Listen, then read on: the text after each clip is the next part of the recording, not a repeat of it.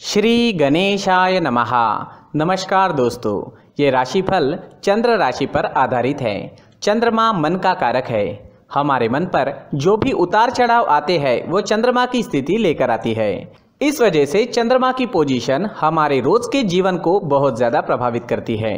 और इसके अकॉर्डिंग हमारा दिन अच्छा या बुरा जाता है। तो आइए जानते हैं इस दिन चंद्रमा आपके लिए किस तरह के परिणाम लेकर आ रहा है। दोस्तों, चंद्रमा इस दिन आपकी कुंडली में दूसरे स्थान में रहेंगे, यानी धन भाव में रहेंगे। जी हाँ ये चंद्रमा की पोजीशन काफ़ी अच्छी रहेगी।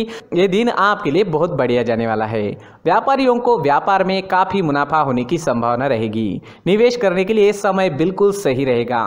इस दिन आप कहीं पर भी निवेश कर सकते हैं। धन से जुड़ा, पैसों से जुड़ा, किसी भी तरह का आदान प्रदान आज आप कर सकते हैं।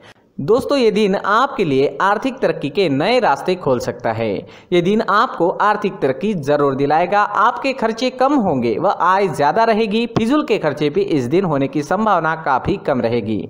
नौकरी पेशा लोगों के लिए यह दिन काफ़ी अच्छा रहने वाला है। ग्रहमान आपके पक्ष में है, आपको मान प्रतिष्ठा मिलेगी। आपके कार्य क्षेत्र में वातावरण आपके अनुकूल रहेगा। सहकर्मचारियों का सहयोग आपको मिलेगा। आपके अधिकारियों से शाबाशी भी इस समय में आपको मिल सकती है।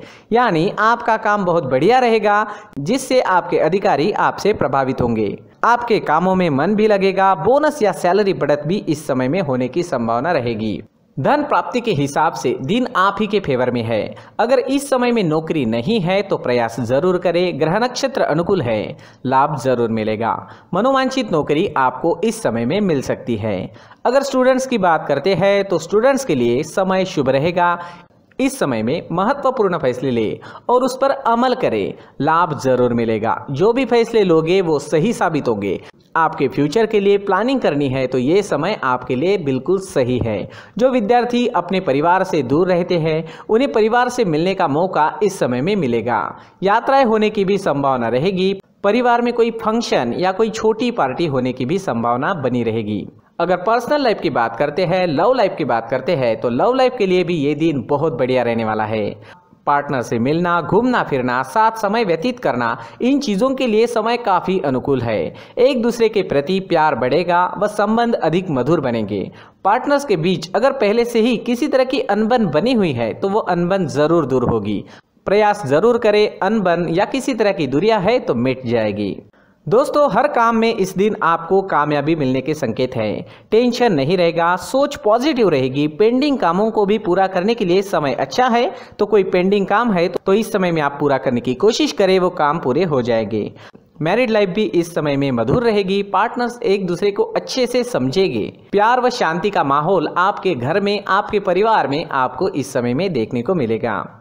अगर स्वास्थ्य की बात करें, सेहत की बात करें तो ये समय आपके स्वास्थ्य के लिए भी अच्छे संकेत दे रहा है। जी हाँ सेहत संबंधित कोई भी परेशानियाँ आपको नहीं सताएगी। पुरानी चल रही जो बीमारियाँ है उसमें भी आपको आराम मिलेगा। इस समय में आपकी सेहत बहुत अच्छी रहेगी। प्रसन्नता व आनंद में दिन व्यतीत होगा। दोस्तों, स्वास्थ्य अच्छा रहेगा, उसे और अच्छा बनाने की कोशिश करें। अपने फिटनेस पर ध्यान देना बहुत ज़रूरी होता है। तो अपने फिटनेस पर, अपने रहन सहन पर खान पान पर ध्यान ज़रूर दे। सुबह टहलना जारी रखें एक्सरसाइज ज़रूर करें। सोच पॉजिटिव रखें और मन में हमेशा अच्छे विचारों को आने दे। क्योंकि हमारे मन में जो भी विचार बार बार आते हैं, उन विचारों से ही हमारा फ्यूचर बनता जाता है। तो हमारे विचारों पर भी हमारा नियंत्रण होना काफ़ी ज़रूरी होता है। इस दिन सफ़ेद रंग का अगर आप इस्तेमाल करते हैं तो आपके लिए बहुत बढ़िया रहेगा और छह अंक इस दिन आपके लिए लकी साबित हो सकता है। दोस्तों, ये राशिफल चंद्र राशि पर आधारित है। लेकिन कभी कभी हमारी पर्सनल कुंडली में बाकी ग्रहों की पोजीशन कुछ इस तरह की होती है कि आपके राशिफल परिणाम में बदलाव दिख सकता है। इसलिए राशिफल को एक मार्गदर्शन के तौर पर लिया जाए तो ज़्यादा अच्छा रहेगा।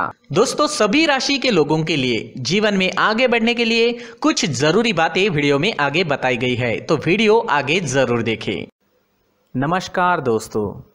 व्यक्ति को अपने जीवन में सफल होने के लिए मेहनत के साथ साथ भाग्य का साथ होना भी बहुत ही आवश्यक होता है।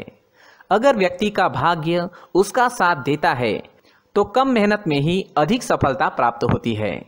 परंतु कई बार ऐसा देखा गया है कि व्यक्ति के जीवन में कई ऐसी घटनाएँ घटित होती है, जिसकी वजह से उसको बहुत सारी परेशानियों का सामना करना पड़ता है। और इस स्थिति में व्यक्ति को बिल्कुल भी समझ नहीं आता कि ऐसा क्यों हो रहा है। दरअसल, आपके घर में ही कुछ ऐसी चीज़ें होती है, जो हमारे भाग्य को प्रभावित करती है, हमारे जीवन को प्रभावित करती है। और उन चीज़ों के आसपास होते हुए भी हमें वो चीज़ें नज़र नहीं आती। वह चीज़ें हमारे चारों तरफ़ एक अजीब सा घेरा बनाकर रखती है, परंतु हम उसको नहीं देख पाते। इन चीज़ों से हमारे घर में और हमारे जीवन में नकारात्मकता फैलती है, जिसकी वजह से हमें नुकसान उठाना पड़ता है। जिसकी वजह से हमें भारी नुकसान उठाना पड़ता है, हम पूरी तरह से कंगाल हो सकते हैं। दोस्तों, काफ़ी लोगों को इस तरह की आदत होती है। कहीं से भी बाहर से आते हैं, कहीं भी जूते चप्पल फेंक देते हैं, कहीं पर भी उतार देते हैं। कुछ कुछ लोग तो घर के एंट्री के मेन डोर के सामने ही जूते या चप्पल डायरेक्टली उतार देते हैं। दोस्तों, ध्यान रखें, जूते, चप्पल हमेशा साफ़ सुथरे रखें और उनको उनकी जगह पर रखें। उनके लिए एक स्थान बनाएँ। उस स्थान पर रखें। अगर कोई व्यवस्था उनके लिए की है तो बहुत ही अच्छी बात है। वहाँ पर उन्हें रखें। साफ़ सुथरा रखें। जूते, चप्पलों को उनकी जगह पर कुछ इस तरह से रखें कि वो देखने में भी अच्छी लगे। अगर वो चीज़ें देखने में अच्छी लग रही है तो फिर उनसे निगेटिव एनर्जी उत्पन्न होने की संभावना बिल्कुल भी नहीं रहेगी। साथ ही दोस्तों, एक और बात है जिस पर आपको ध्यान देना बहुत ज़रूरी होता है, हमारे घर के छत के ऊपर। जिन चीज़ों का हमें काम नहीं होता है, उन्हें हम घर के छत के ऊपर रख देते हैं। ऐसा करते करते देखेंगे तो घर के छत के ऊपर कबाड़ जमा दिखता है। जी हाँ जो चीज़ें हमें लगता है आगे जाके हमारे काम में आ सकती है, वो हम घर के ऊपर रख देते हैं।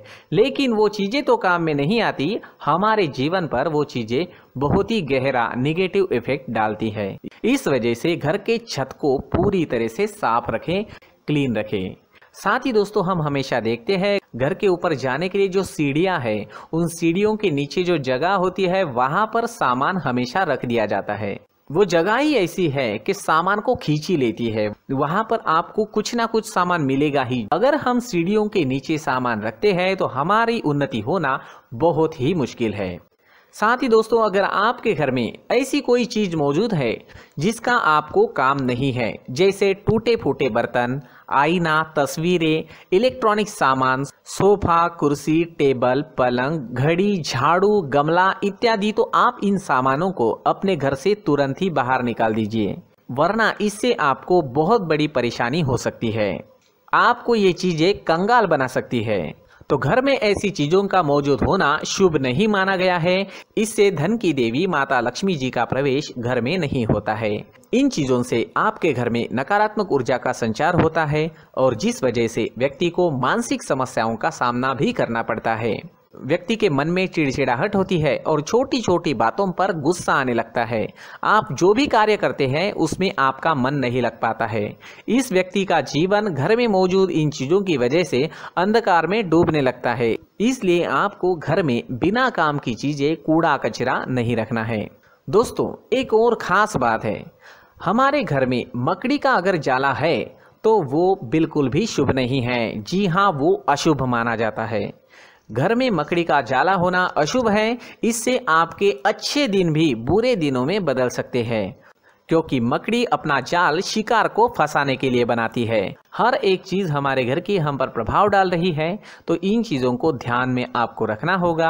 तो दोस्तों, कुछ ऐसे छोटे मोटे बदलाव करके हम हमारे जीवन में खुशियाँ ला सकते हैं, तरक्की ला सकते हैं, धन ला सकते हैं, माँ लक्ष्मी जी का प्रवेश हमारे घर में हो सकता है। तो इन चीज़ों को ज़रूर आजमाएँ। इस तरह के बदलाव आप आपके घर में ज़रूर करें। धन्यवाद।